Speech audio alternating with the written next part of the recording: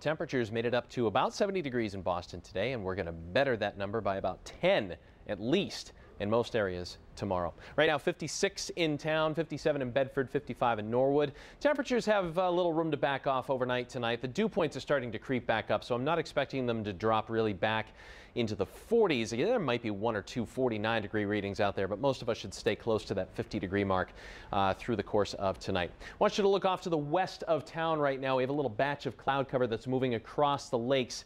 Uh, some showers, some thunder showers. Actually, this is all moving in this direction, almost due east. So Rutland, Vermont, north of Manchester on up into the lakes region. You may see a shower or a thunder shower over the course of tonight, but around the Boston area, we should stay mostly dry and mostly clear as well. There's a warm front right here.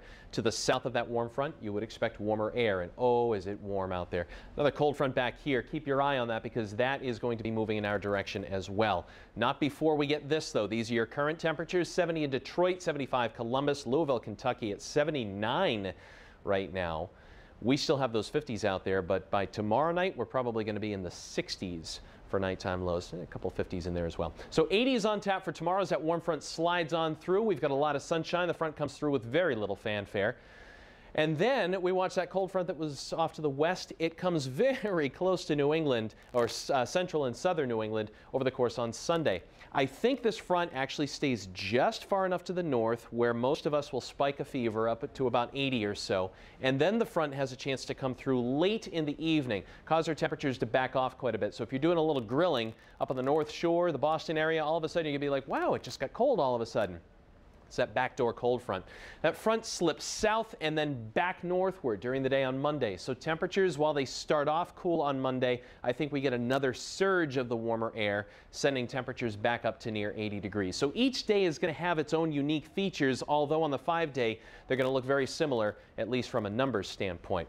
There are your record highs for Boston and Worcester, 83 and 85 for both locations. Saturday and Sunday respectively. And I think tomorrow we're going to come uh, very close to those numbers. 81 for Boston and Worcester.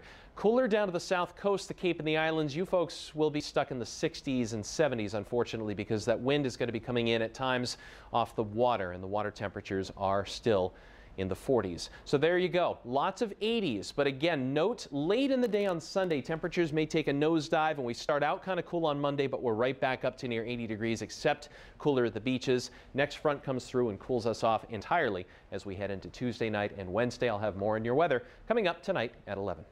Okay, Jay, updating that breaking news at Logan Airport now. A Delta flight headed for JFK.